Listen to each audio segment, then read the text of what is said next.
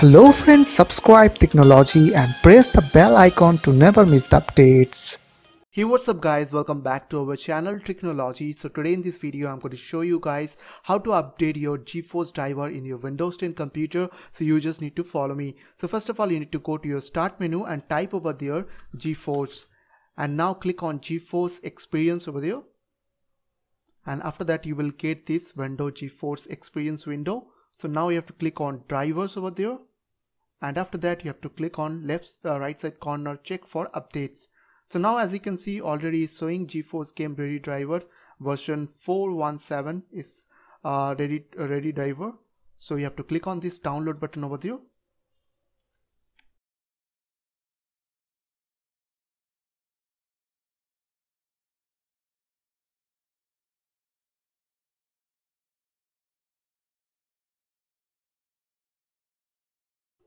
So after download you have to click on express installation.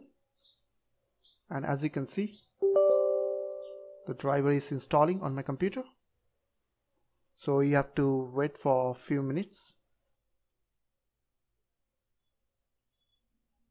So as you can see after done it's showing installation is completed so I hope this small video will really help for you. And please don't forget to click on the subscribe button like button and share button.